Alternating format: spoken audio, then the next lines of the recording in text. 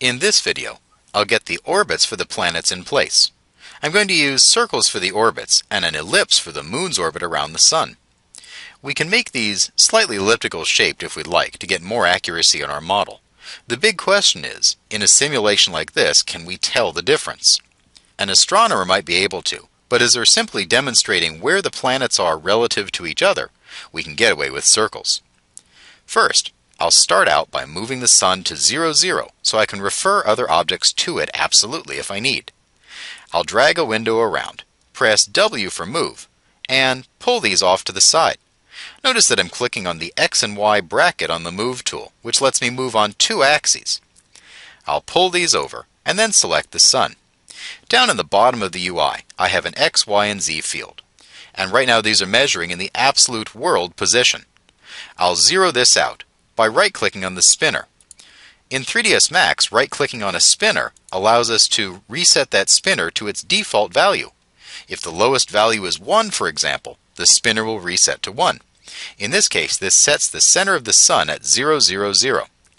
Now I'll get the orbits in place.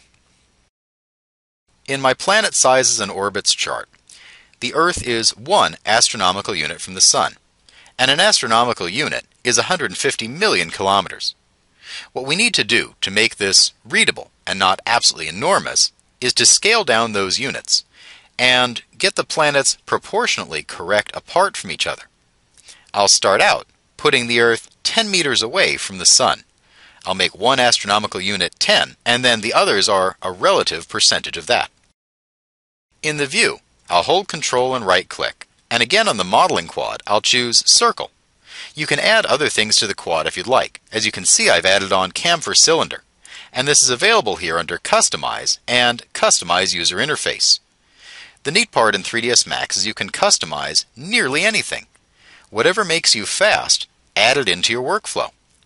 I'll click and drag out a circle around the sun, right-clicking to stop creating, and then click on the Modifier tab on the command panel. I'm going to make the radius here 10 and this will allow me to put in easy percents of that to get the other orbits. I may end up reducing the size of my sun. Again, it's a figurative sun, not a literal size. I'll pull the radius here of the sun down to 3. We'll know it's the sun because it's nice and bright, but now I can get the other planets in. When we start to deal in Neptune's orbit, we're going to be hundreds of meters away in our scale. So we don't want to make this too big initially, or we'll never see the small four inner planets. Now I'll get the circle aligned on the sun. I'll click on the Align tool and then click on the sun. In the Align dialog that pops up, I'll align the X, Y, and Z position from center to center. We have a lot of options here as how to align, so we can get a lot of precision in our movement. I'll click OK, and I'll name this circle Earth Orbit. Now I'll clone it. And instead of moving, I'll press Ctrl V to clone this in place. I'll clone this as a copy, so changing one doesn't change the other. And I'll name this Mars Orbit. Mars's orbit, if we look in the PDF, is one and a half Earth units away, which gives me a radius here of 15 meters. I'll clone this again, and this time I'll make the Venus orbit. Venus's orbit is 0.7 astronomical units out. Mercury is 0.4, so these will get very small very quick. For Venus, then, I'll put in 7 meters. And finally, Control V one more time and make Mercury. Mercury is 0.4 astronomical units away, so I'll put in 4 meters. Although the size is much, much smaller than the actual orbit, the proportion is correct. What we'll start to see is that once we get into Jupiter and Saturn, these orbits get very big. Jupiter is 5.2 astronomical units away.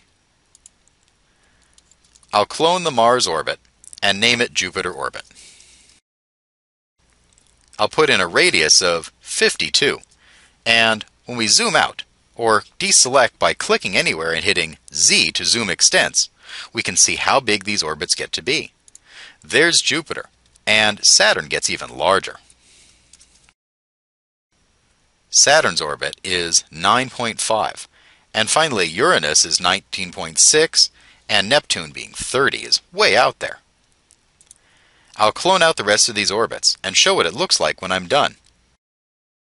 I've cloned the rest of my orbits out, and there's Neptune, in our scale, 300 meters out. It's an enormous orbit, and we can almost not see the inner small orbits here. So it's worth making our scale much smaller, although we get the relative spacing correct.